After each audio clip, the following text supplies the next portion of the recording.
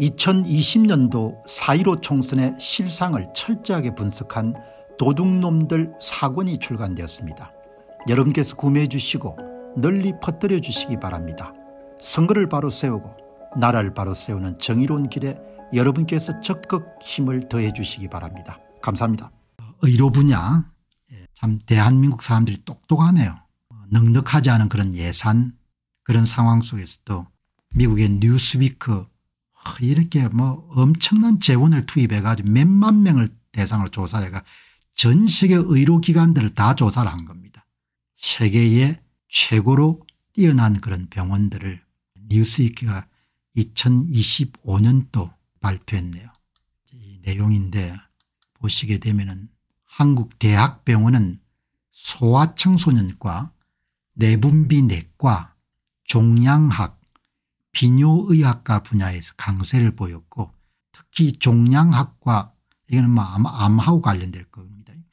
내분비 내과 비뇨의학과 분야는 세계 최고 병원 10위 안에 한국대학병원 세 곳이 이름을 올렸다.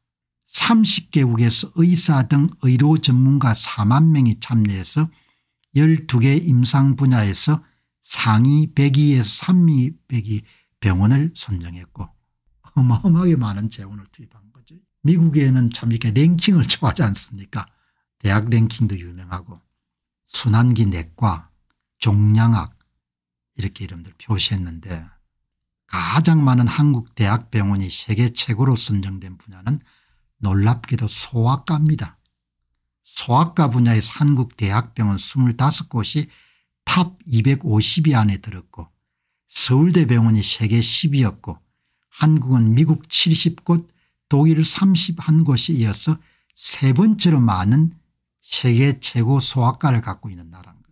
수가나 이런 것 때문에 굉장히 불리한 상황인데도 이렇게 여러분들 한국 사람들이 똑똑한 겁니다. 원래 똑똑한 인재들이 많이 갖고 한국은 내분기 내과 분야도 강세인데 21곳이 내분기 내과 분야 세계 최고로 선정돼서 미국이 38개 병원 그리고 한국이 21개 병원이 순위 안에 들어간 겁니다.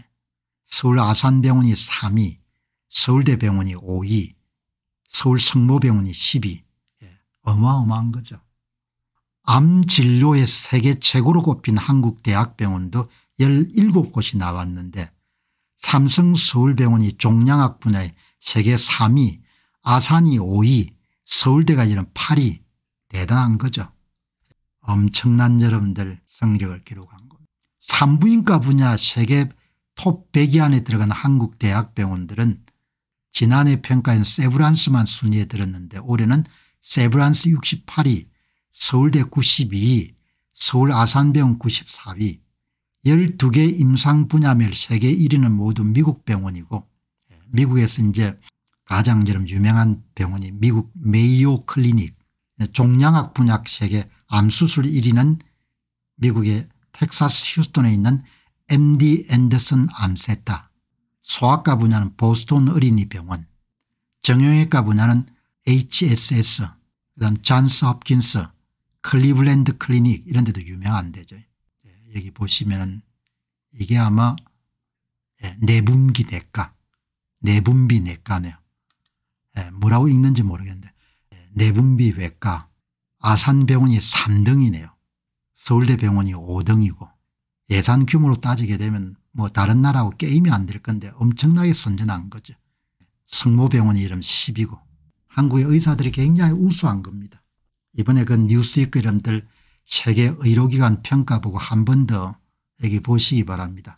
예, 한국 의료기관 경쟁률 한번 보시기 바랍니다. 여기에 보시게 되면 은 신경외과는 순위 안에 들어가는 한국 기업 한국 병원이 다섯 개 8등이네요. 뉴로서절리 옹콜로지 암 한국이 순위 안에 들어간 병원 수가 17개입니다. 거의 경제력하고 비교한 거의 비슷하네요. 7, 8위. 소아과는 이러면 3입니다. 대단하네요. 어마어마한 거죠. 소아청소년과 대한민국의 순위가 3위 아닌 겁니다. 순위 안에 들은 병원 개수가 25개나 되는 겁니다. 원래 우수한 인재가 같고 그다음에 교육제도가 우수한 것 같아요. 원래 똑똑한 사람이 갖고 여러분 의과대학은 전 세계적으로 다 똑똑한 사람이 가지 않습니까 사과 개짝 두 개를 외울 수 있는 머리가 돼야 되는 겁니다. 그게 엄청난 결과인 겁니다. 자랑스러워 해도 손색이 없는 그런 자료들인 겁니다. 이게 원조 받는 나라가 여러분 이렇게 올라간 걸 보시기 바랍니다. 한 나라도 없습니다. 식민 경험을 갖고 있는 나라들 가운데 이렇게 올랐은 나라가 그 유일한 같네요. 여기 보시게 되면 정말 대단한 기록이네요. 그래서 제가 오늘 특별하게 한번 다루는 겁니다. 이 보시죠. 소화기 내과 한국이 구인 겁니다. 일본 배우고 전부가 뭡니까 예, 서구지 않습니까 미국 독일 일본 스페인 이탈리아 영국 캐나다 호주 한국 심장외과 10이네 10이 어마어마한 일을 한 겁니다. 참 대단하네요. 이걸 보시게 되면은 그 다음에 정형외과 5위 호흡기 내과 그러니까 9개 병원이 순위 안에 들어간 겁니다.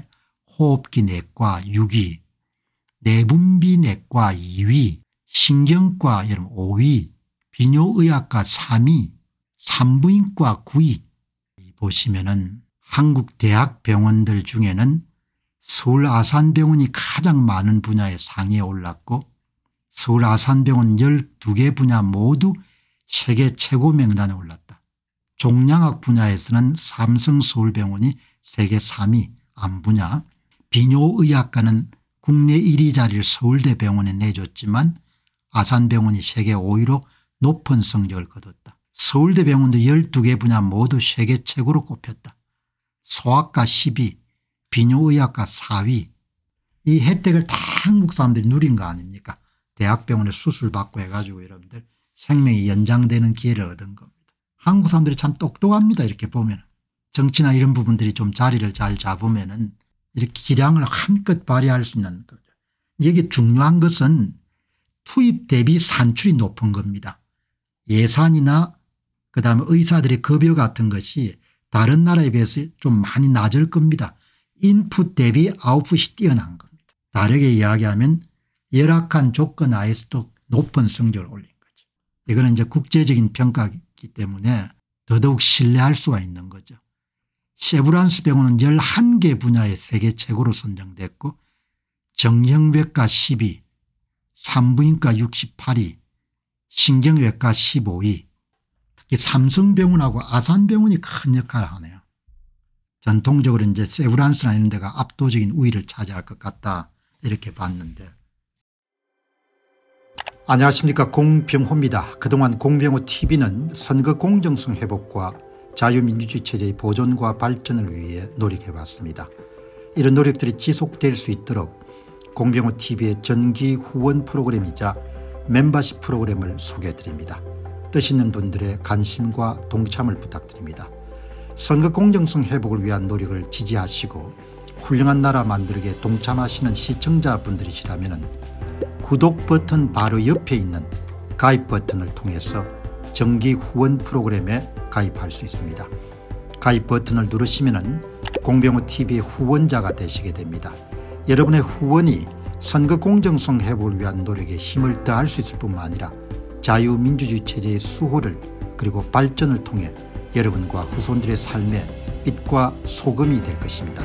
특히 그동안 공병호TV는 선거 공정성 회복을 위한 노력 과정에서 채널 성장에 제약이 가해지는 불이익을 감수해왔고 지금도 그런 불이익이 계속되고 있습니다. 그럼에도 불구하고 너무나 중대한 문제이기 때문에 공병호TV의 노력은 계속될 것입니다. 여러분의 깊은 관심을 부탁드립니다. 감사합니다.